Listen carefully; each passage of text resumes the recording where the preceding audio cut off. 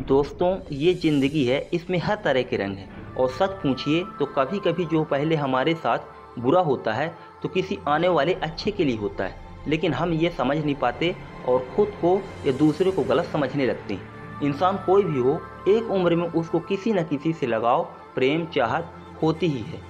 कुछ लोग उसको बर्दाश्त कर लेते हैं अपने परिवार और संस्कार के लिए तो कुछ लोग नादानी कहें या बचपना कहें, पूरी तरह से सिर्फ़ एक इंसान के ऊपर विश्वास करके उसको अपना सब कुछ मान लेते हैं। और कुछ लोग तो सिर्फ़ एक इंसान के लिए अपने पूरे परिवार, अपनी मर्यादा भी भूल जाते हैं। हालाँकि सब लोग ऐसा नहीं होते।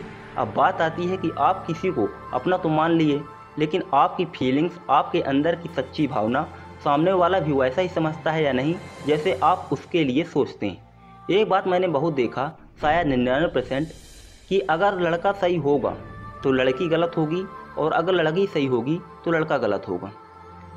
लेकिन ऐसा भी देखा कि जब दोनों सही हों तो कोई तीसरा कारण हो जाता है रुकावट का।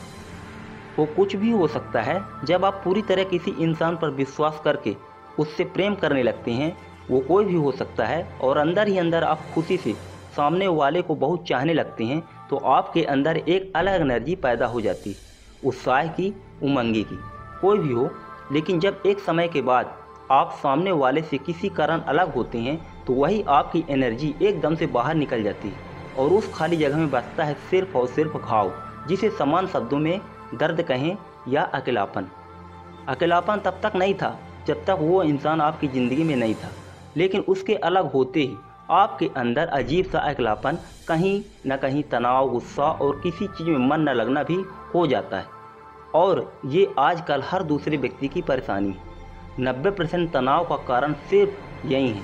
आजकल क्योंकि जब हमारे माँ बाप कहते हैं, बेटा, ऐसा करो, ऐसा ना करो, ये गलत है तो हम उनको अपने इस मॉडर्न रूपी मूर्खता को ढाल बनाकर अपने माँ बाप और परिवार को ही जवाब देकर उनसे भिड़ जाते हैं।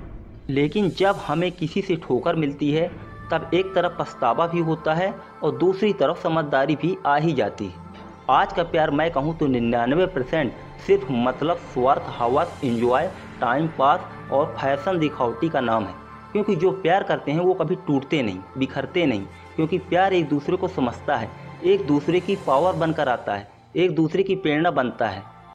और आजकल का प्यार एक गया तो दूसरा तैयार। और जो दूसरा मिलता है, वो सिर्फ़ खुद को अकेलापन से बचाने के लिए, खुद को तसल्ली देने के लिए और खुद की ज़िंदगी से समझौता करने के लिए ही होता है। लेकिन कुछ लोग जल्दी उभर जाते हैं तो कुछ लोग बहुत समय तक उसी दर्द में पड़े रहते हैं। क्योंकि जो जितना ज़्यादा अंदर से सच्चा प्रेम करता है, वो उतना ज़्यादा तकलीफ़ झेलता है। अब ये तो हो गया। अब अगर आपको किसी भी प्रकार से कोई इन सब में धोखा देता है या अलग हो जाता है तो आप बहुत से लोग इसमें टूट सा जाते हैं और अपने अंदर एक अकेलापन महसूस करने लगते हैं और बहुत समय तक उसी चीज़ में खोकर रोते भी रहते हैं। लेकिन आपको ऐसा नहीं करना चाहिए। हालाँकि रोता तो मैं भी हूँ, क्योंकि रोने से अंदर एक अलग एनर्जी मिल जाती है। वैसे ही जैसे कंप्यूटर को रिफ्रेश करने से, देखिए, अगर आपको सच में किसी से धोखा मिला है तो उसको भूल जाइए। अपने मन से बिल्कुल निकाल दीजिए, क्योंकि सामने वाला आपकी फीलिंग्स आपकी सच्ची भावना, आपकी चाहत को नहीं समझ सका, न आप कभी समझेगा। अगर समझा होता तो आपको छोड़ता ही नहीं। और आप अब अपना पूरा ध्यान सिर्फ़ और सिर्फ़ खुद में फोकस कीजिए, अपने पैसन पर, अपने करियर पर, अपने काम पर। और अपना सारा गुस्सा, सारी एनर्जी सिर्फ़ अपने काम में एक जुनून के साथ लगा दीजिए।